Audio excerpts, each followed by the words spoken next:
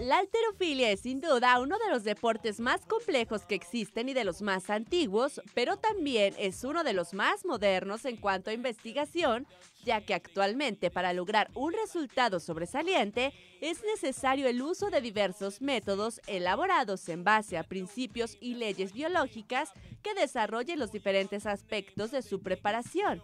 La alterofilia o levantamiento olímpico de pesas es un deporte que consiste en el levantamiento de la mayor cantidad de peso posible en una barra en cuyos extremos se fijan varios discos, los cuales determinan el peso final que se levanta. A dicho conjunto se denomina haltera. La alterofilia principalmente es un deporte olímpico, es para un deporte competitivo, lo pueden practicar niños de 8 años en adelante.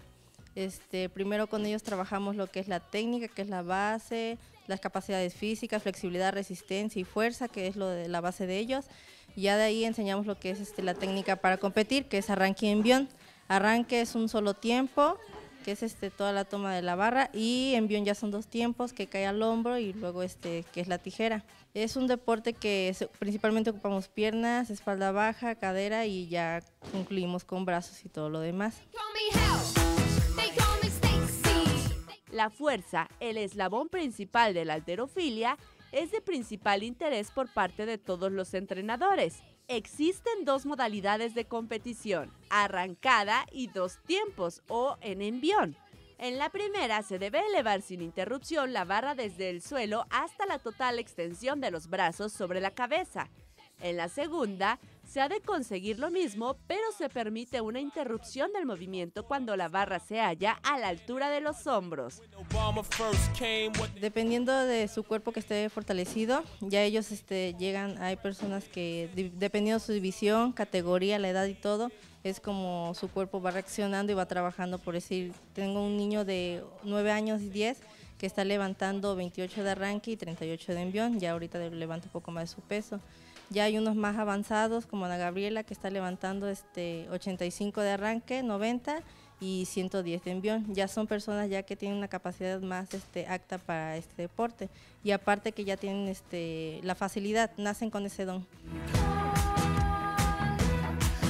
El levantador utiliza un agarre muy ancho, para algunas personas es con los brazos casi completamente abiertos, y agarra la barra normalmente con un agarre en gancho el movimiento comienza activando los músculos de las caderas, los glúteos y los cuadríceps. La barra va subiendo y el torso se mantiene más o menos al mismo ángulo que en la posición de inicio. Entonces, el levantador extiende su cuerpo cuando la barra alcanza la altura de la pelvis. Esta extensión es explosiva y crea la suficiente fuerza para lanzar la barra hacia arriba mientras el atleta cae rápidamente debajo para agarrar la barra.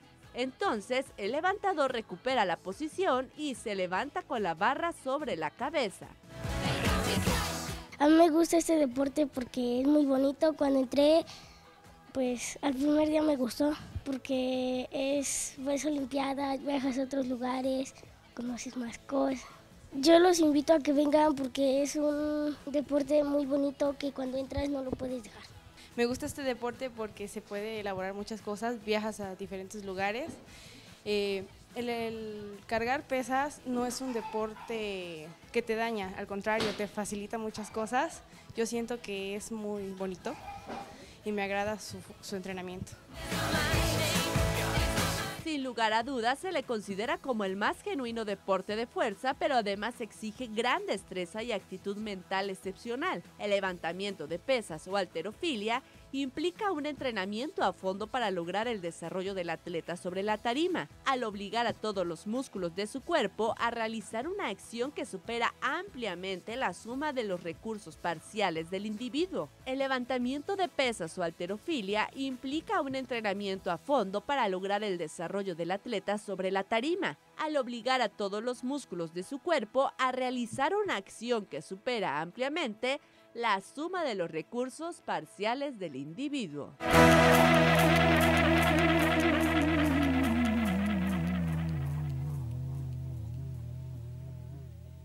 Bueno, pues los invito a que vengan este, a participar en este deporte. Es un deporte que olímpico muy bonito, que cuando uno entra y lo practica, pues es como, no lo deja uno, ¿no? Le gusta mucho y la competencia, al sentir la adrenalina, pues les recomiendo, es muy bonito.